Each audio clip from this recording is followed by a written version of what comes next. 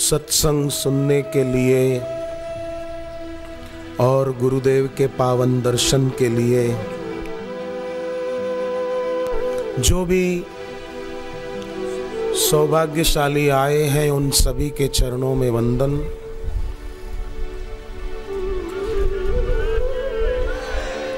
भगवान गणपति जी के बारह नाम नारद पुराण में बताए।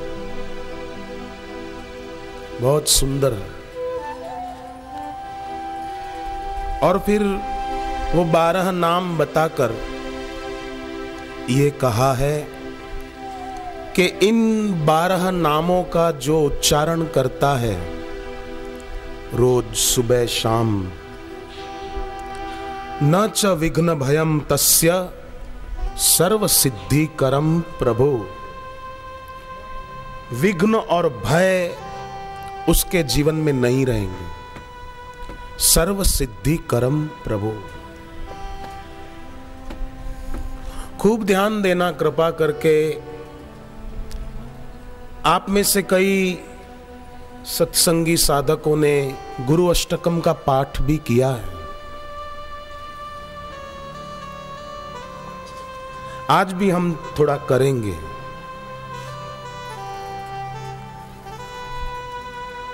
गुरु अष्टकम क्या है? शंकराचार्य जी द्वारा रचा गया है। आठ साल की उम्र थी उनकी जब, तब उनके मन में अपने गुरुदेव गोविंद पादाचार्य जी से दीक्षा लेने की इच्छा हुई। केरल प्रदेश में जन्मे थे।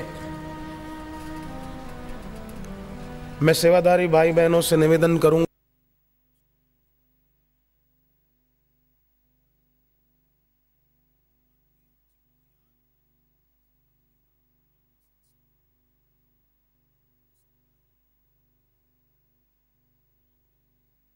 अगर हो गुरु अष्टकम की पत्रिका तो उन तक पहुंचाओ।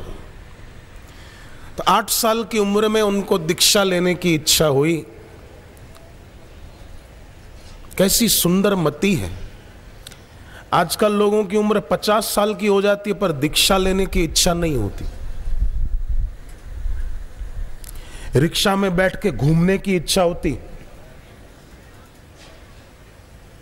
चौपाटी पे जाऊँ, सब चौपट करके आ जाते घर पे रोटी खाने का मज़ा नहीं आता, चौपाटी पे पाव भाजी खाने का मज़ा आता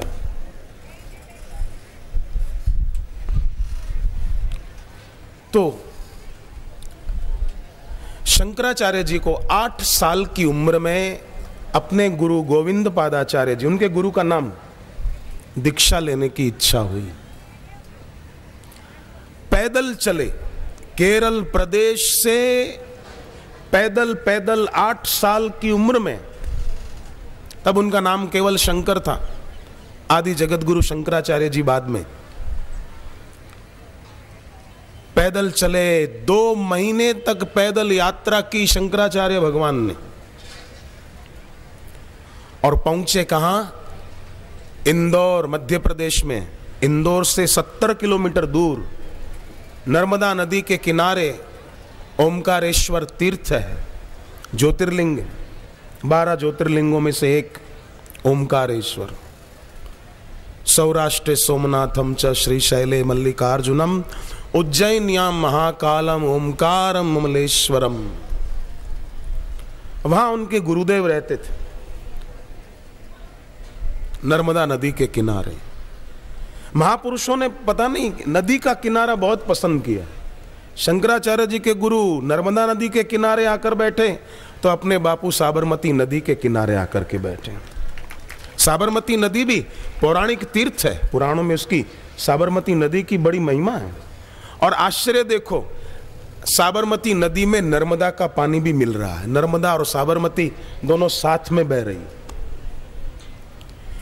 इसलिए मुझे नर्मदा किनारे गाया हुआ शंकराचार्य जी का गुरु अष्टकम बहुत प्यारा लगता है और नर्मदा जहाँ साबरमती में मिल रही है, वहाँ भी साबर और नर्मदा के तट पर साधक लोग शिविरों में, वैसे आश्रम में रोज सुबह संध्या के समय अहमदाबाद आश्रम में गुरु अष्टकम का पाठ होता है। नर्मदा किनारे लिखा गया, साबरमती और नर्मदा जहाँ साथ में बह रही है, उसके किनारे रोज उसका पाठ किया जाता है।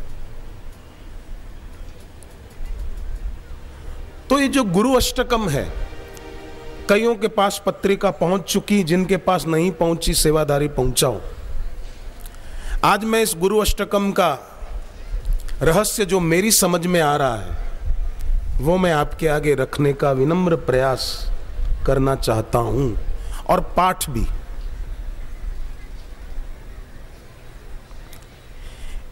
आपके पास पत्रिका है, आप देखिए, पत्रिका में पहली पंक्ति जो है, और फिर हर पंक्ति आप गिन सकते हैं। शरीरम स्वरूपम तथा वा कलत्रम, बारह अक्षर होते हैं। आप गिनिएगा। शरीरम तीन स्वरूपम छह हुए, तथा आठ, वा नौ, कलत्रम तीन हो गए, बारह। नौ, तीन, बारह। है ना? हर पंक्ति में बारह अक्षर। ये गुरु अष्टकम के एक एक पंक्ति के बारह अक्षर जो प्रीति पूर्वक पाठ करता है, वो साधक रोज गणपति जी के बारह नामों का उच्चारण कर रहा है। और उसके विघ्न अपने आप गुरु और गणपति की कृपा से दूर होंगे होंगे और ज़रूर होंगे। हमारी निष्ठा पक्की होनी चाहिए, उनकी तरफ़ से देर नहीं होगी।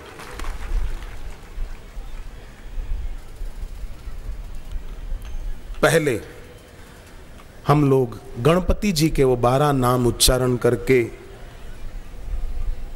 मुंबई नगरी के मालिक सिद्धि विनायक को मैं तो कई लोगों को कहता रहता हूँ कि मुंबई नगरी को संभाले हुए हैं ना तो ये सिद्धि विनायक। समुद्र सिद्धि विनायक की शर्म भरता है और भरता रहेगा। और महालक्ष्मी।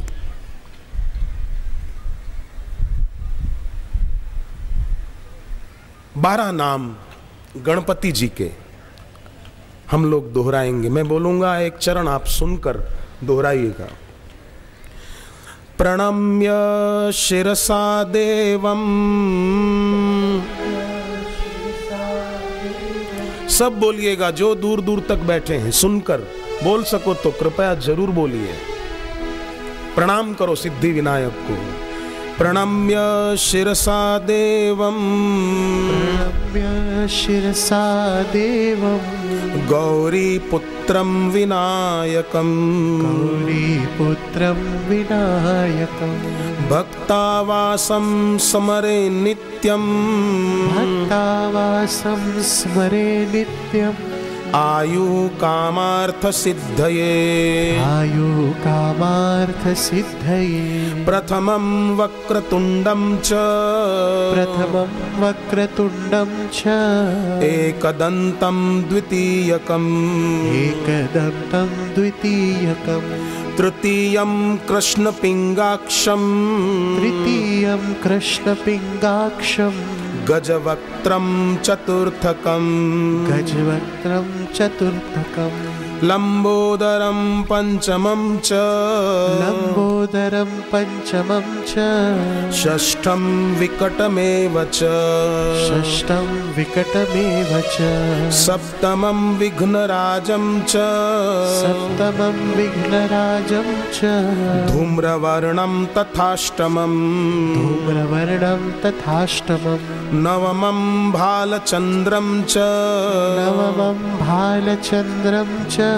दशमं तु विनायकम्। दशमं तु विनायकम्। एकादशं गणपतिम्। एकादशं गणपतिं द्वादशं तु गजाननम्। द्वादशं तु गजाननम्। द्वादशैतानि नामानि। द्वादशैतानि नामानि।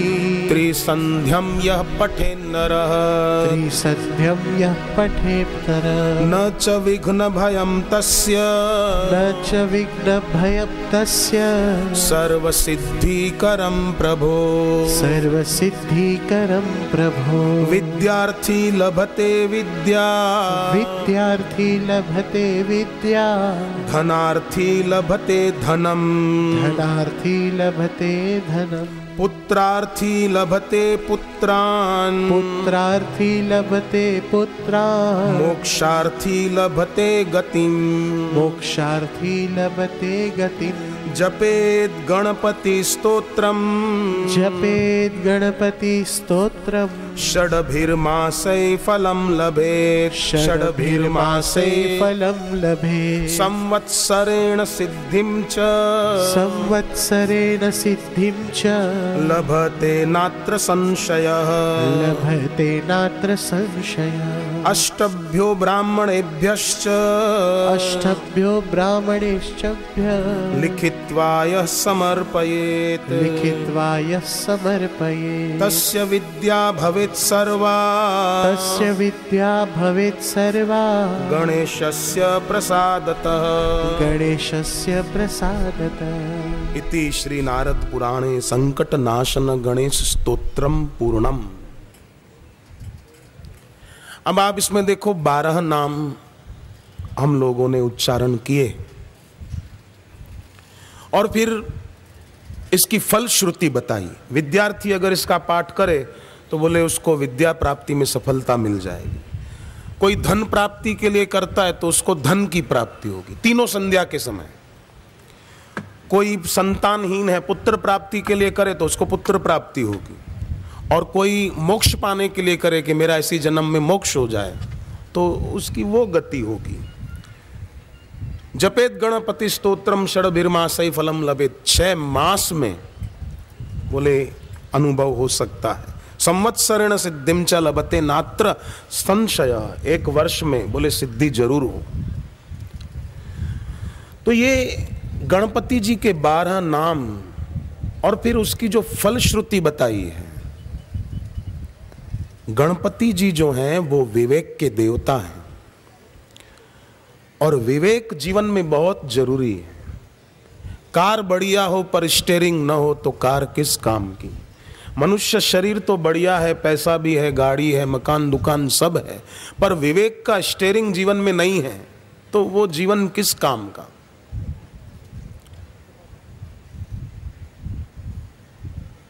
सोचिए। भगवत गीता में एक श्लोक आता है, यानिशा सर्वभूतानाम तस्याम जागृति संयमी।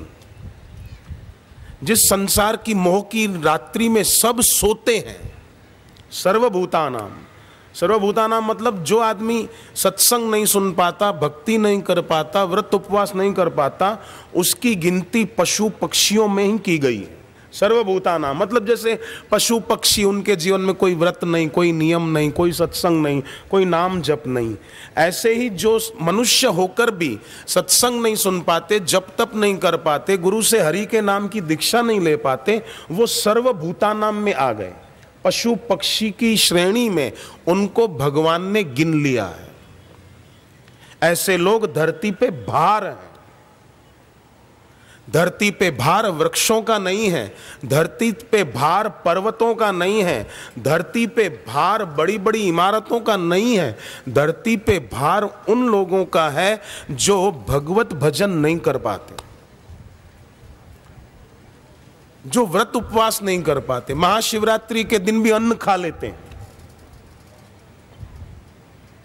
वैलेंटाइन डे याद रहता है, महाशिवरात्रि याद नहीं रहता।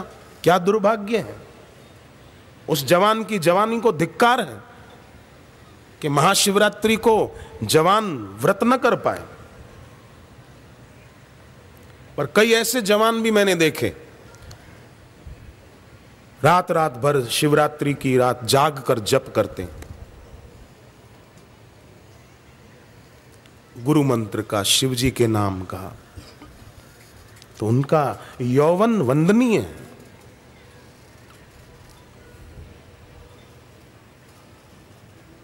करना चाहिए।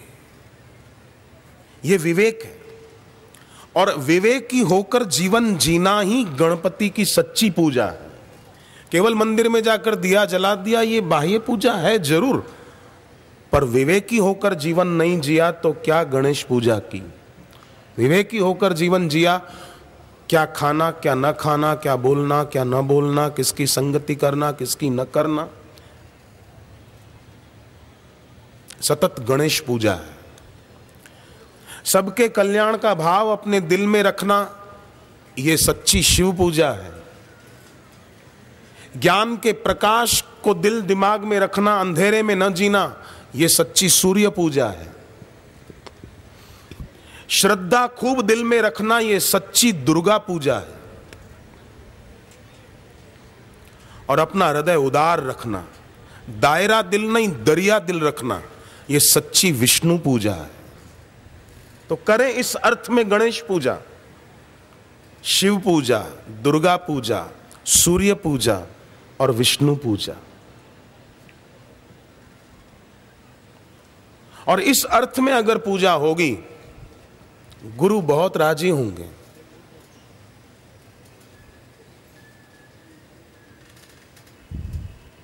गुरु चाहते हैं कि मैं शिष्य को उस नज़र से देखूँ। और उसका काम हो जाए। गुरु वो घड़ी ढूंढते हैं कि काश वो एक घड़ी आ जाए, जब शिष्य की सतपात्रता पूर्ण रूपेण विकसित हो और मैं वो दृष्टि डाल दूँ कि परम पिता ने पुत्र को देखा, सूर्य ने घट जल में पेखा घटक तोड़ जल जल में मिलाया। ये ये घटना ये गुरु की दृष्टि से, गुरु की शक्ति से घटती। ये अपनी साधना से नहीं हो सकती है। कोई सोचे कि मैं साधना करके भगवत साक्षात्कार कर लूँगा, संभव ही नहीं है। भागवत के पाँचवें स्कंद में क्या प्यारी बात आती इस संदर्भ में। रहुगण राजा राज्य से उपराम होकर एकांत में गुरु के चरणों में आत्म साक्षात्कार के लिए जा रहे थे कि उनका, गुरु का आत्मज्ञान का सत्संग सुनूं और मैं साक्षात्कार कर लूँ, तर जाऊँ। जा रहे हैं। रास्ते में जड़ भरत जी ने, मैं विस्तार में न जाऊँ, क्योंकि फिर अपना विषय जो है वो रह जाएगा। रास्ते में जड़ भरत जी ने रहुगण राजा को उपदेश दिया। भागवत के पाँचवें स्कंद में इसका वर्णन विस्तार से है। घर पे भागवत हो तो देख सकते हैं। जड़ भरत जी ने कहा रहु गुण तपसा नयाती। हे रवगुण राजा, जो अनुभव तू करना चाहता है, वो केवल बाह्य स्थूल तपस्या करने से नहीं होगा। न चे जया निर्वपणाद ग्रहाद्वा। न छंदसाग्नि न जलाग्नि सूर्यो। केवल सूर्य की बाह्य ढंग से उपासना करने से नहीं होगा। सूर्य को जल दे दिया। यह सूर्य की उपासना नहीं है। प्रकाश में जीना। सबके प्रति सद्भाव रखना। सूर्य भगवान पक्षपात करते हैं कभी। हिंदू को रोशनी दू, मुसलमान को न दूँ। जहाँ से गंगा बह रही हो, वहाँ मेरा प्रकाश पड़े। पर जहाँ से गटर का नाला बह रहा हो, वहाँ मेरी सूर्य की किरणें ना पड़े। नहीं, गंदा नाला बह रहा हो, वहाँ भी सूर्य की धूप जाती और गंगा जल बह रहा है, गंगोत्री से गंगा सागर तक, वहाँ भी सूर्य की किरणें पड़ रही है। मंदिर के शिखर पर भी पड़ रही है। तो सिनेमा थिएटर के ऊपर भी तो पड़ रही है ना? पक्षपात नहीं करते। हम भी अपने जीवन में कोई व्यक्ति गलत है तो उससे द्वेष न करें, उसकी उपेक्षा कर दें कि ये हमारे लिए नहीं है। नफरत की आग अपने दिल में न जलने दें, क्योंकि जहाँ द्वेष की आग होगी, वहाँ प्रेम नहीं पनप पाएगा। अंगारा और अंगूर साथ में नहीं रह सकते हैं। द्वेष अंगारा है, ईश्वर और गुरु के लिए प्रेम अंगूर अंगूर और अंगारा साथ में कैसे रहेंगे? इसलिए भगवत गीता के बारहवें भक्ति योग नामक अध्याय में भगवान ने कहा, अद्वेष्टा, यमदूत का काम तुम क्यों अपने हाथ में लेते कोई गलत है तो उसको अपने आप यमदूत ठीक करेगा। हम क्यों नफरत या द्वेष अपने दिल में रखें? हम सबके लिए प्रेम रखें। होते हैं कई लोग ऐसे, अपनी आदत नहीं छोड़ पाते। एक पेशेंट डॉक्टर के पास गया और कहा, साहब, तबीयत ठीक नहीं है साहब, बहुत तकलीफ़ हो रही है, पूरे शरीर में दर्द है, परेशानी है साहब, कुछ अच्छा नहीं लग रहा है। तो डॉक्टर ने कहा, क्यों? हीरालाल शराब पीते हो?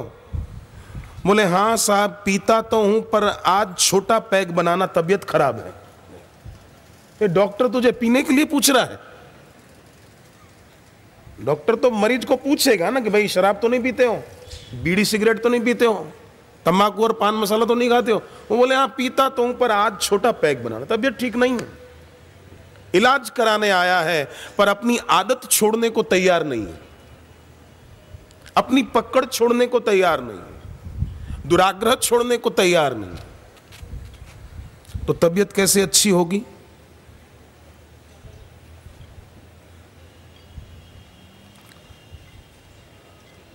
विवेक। गुजरात में शराब पर प्रतिबंध है तो तो भी कई लोग तो पीते हैं ना छुप कर। गुजरात से फिर दमन आ जाते शराब पीने के लिए।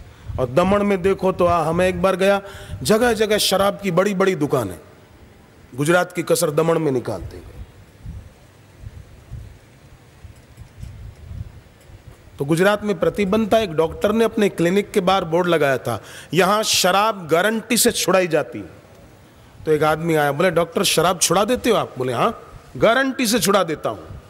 तो डॉक्टर फिर, जल्दी करो, पुलिस ने मेरी आठ पेटियाँ जब्त कर ली शराब की। छुड़ा दो ना आप जरा। अब वो किस अर्थ में लिखा था और ये क्या अर्थ लगा रहा था? जड़मती ये जड़मती भगवान के नाम से दूर होती है, जड़ता, बुद्धि की। राम एक तापसती तारी नाम कोटि खल कुमति सुधारी।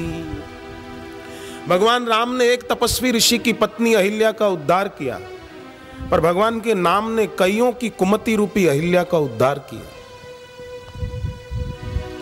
इसलिए भगवान का नाम गुरु के मुख से दीक्षा में लेने का विधान।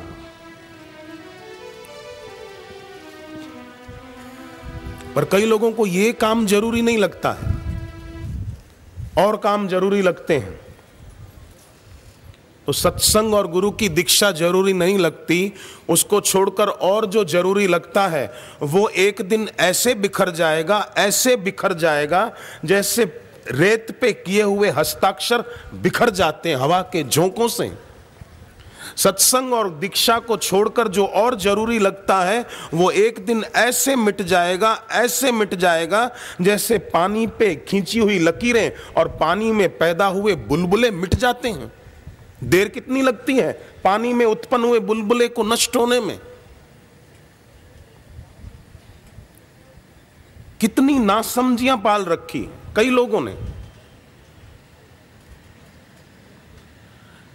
एक आदमी मुंबई आया था पहली बार और डबल डेकर बस देखी पहली बार। तो बैठा कंडक्टर ने कहा कि नीचे फुल है, ऊपर जाओ। ऊपर गया तो लौट कर आया नीचे कंडक्टर ने कहा, क्यों, ऊपर भी जगह नहीं गया वो बोला, नहीं, जगह तो है, पर ऊपर की बस में ड्राइवर नहीं बैठा है। मैं ड्राइवर बिना की बस में नहीं बैठूँगा। अपने को उस आदमी पर हँसी आती है कि बेचारा पता नहीं था उसको। ऐसे ही वे ना समझ हैं कि जो सत्संग में नहीं बैठ पाते, गुरु से दीक्षा लेने नहीं बैठ पाते। इससे क्या होगा? अरे, इससे क्या नहीं होगा? शंकराचार्य इतनी ऊँची हस्ती दीक्षा ज़रूरी समझते हैं। दो महीने पैदल चले अपने गुरु से दीक्षा पाने के लिए। यही तो सच्ची संपत्ति है। मृत्यु के द्वारा जो छीनी न जा सके, मृत्यु जो छुड़ा दे, छीन ले, वो संपत्ति नहीं है, वो विपत्ति है।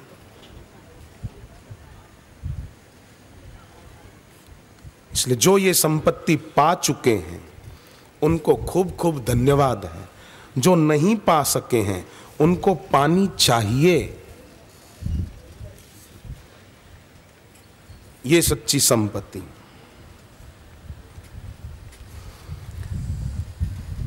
भाई, पिता, माता, स्त्री, पुत्र, साथी, इनमें से कोई भी अपना सहायक अंत काल में नहीं होता है।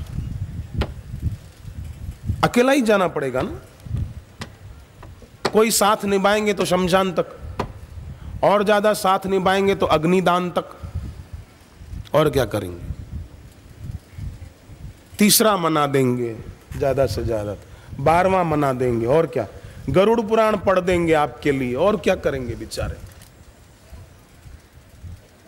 मरने के बाद करते हैं जो मर गया, उसके निमित्त गरुड़ पुराण का पाठ करवाते मैंने तो जीते जी कर लिया। क्या पता अपने मरने के बाद कोई करे, न करे, कर लो अभी।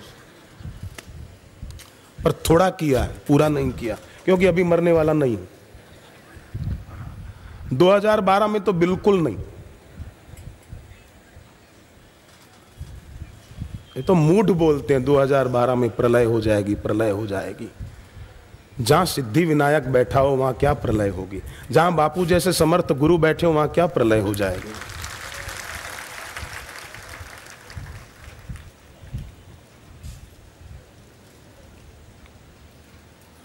मूढ़तावश आदमी, न जाने क्या क्या बोलता रहता है। बेसिर पैर की बातें करते रहते हैं। और कोई मानो काम ही नहीं है। ये ऐसा बोलने वालों को ऐसा नहीं होता मन में कि माला लेकर थोड़ा राम राम करें तो कितना अच्छा। चलो भाई, बोलते हैं, इक्कीस दिसंबर 2012 को प्रलय हो जाएगी। तो कम से कम इतना तो बोलो भी, प्रलय होने वाली है 2012 में, सब लोग भगवान का नाम जपने लग जाओ, वो तो बोलेंगे ही नहीं। टीआरपी बढ़ानी है बस, दहशत दहशत। लोगों में दहशत फैला नहीं तो हुआ। और दहशत से मिलेगा क्या इनको? दहशत से कुछ नहीं मिलेगा। मिलेगा तो ईश्वर और गुरु की रहमत से मिलेगा। दहशत से क्या मिलेगा? उल्टा शांति खो जाएगी लोगों की। चैन खो जाएगा। बीपी बढ़ जाएगा। दवाओं का खर्चा बढ़ जाएगा महँगाई के जमाने में। समाज में सुख, शांति आनंद, आह्लाद बढ़े वो ज़रूरी है। वो सत्संग से होता है। नोपासिता मदमपास्य मया महान्त। तीर्थानि चास्ति कधया नहि सेवितानि। देवार्चनं च विधिवन्न कृतं कदापि तस्मात् त्वमेव शरणं मम दीनबन्धो। हे भगवान, हे प्रभु, हे गुरुदेव, हे महादेव नोपासिता मदमपास्य मया महांत मैंने अभिमान छोड़कर आराधना नहीं की है। आराधना उपासना भी की तो अभिमान रख करके मैंने इतना अनुष्ठान किया है, तुमने क्या किया है? मैं चार बजे उठ जाता हूँ, तुम आलसी हो, छह बजे उठते हो। कईयों को इसका भी अभिमान होता है कि हम चार बजे उठ जाते हैं। तो तीन बजे उठ जाना, क्या हो जाएगा? उल्लू रात भर जागता है, तू तो प्यारे तीन बजे उठता है। उल्लू रात भर जागता है, बोलो। क्या हो जाएगा उससे?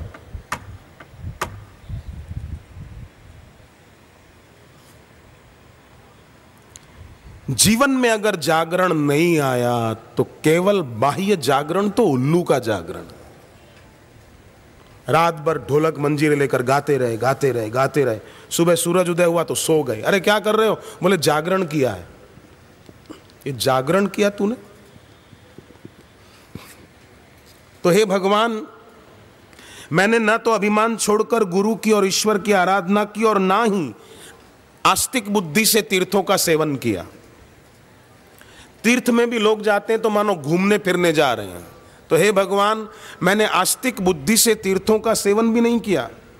नोपासिता मदम पास्य माया महांतम। तीर्थानि चास्तिक कधया नहीं सेवितानि। देवार्चनम च विधिवन्न कृतम कदापि। न मैंने कभी श्रद्धा से देव पूजा की, न श्रद्धा से गुरु पूजा की। इसलिए हे दीन बंधु एकमात्र आप ही शरण है मेरी। मैं आपकी शरण में हूँ। तस्मा त्वमेव शरणम मम दीन बंधु एक तुम्ही आधार।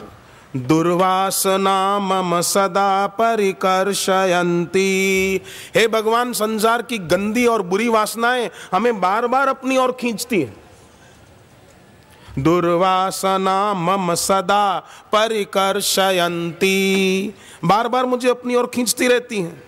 चित्तम शरीम पिरोग गणा दहंती और मेरा शरीर ये तो कभी कोई बीमारी, कभी घुटने का दर्द, कभी कमर का दर्द, कभी पेट में दर्द, कभी अजीर्ण, कभी सिर दर्द। ये शरीर तो रोगों का घर बना रहता है।